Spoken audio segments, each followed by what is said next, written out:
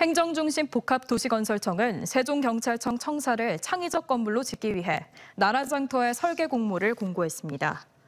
세종경찰청 청사는 5-1 생활권 합강동 18,000제곱미터에 2026년 말까지 777억 원을 들여 건물 면적 18,982제곱미터 규모로 건립됩니다. 공모한 접수는 오는 6월 23일 정부 세종청사에서 하고 오는 29일 공모안을 심사해 6월 30일 심사 결과를 발표합니다.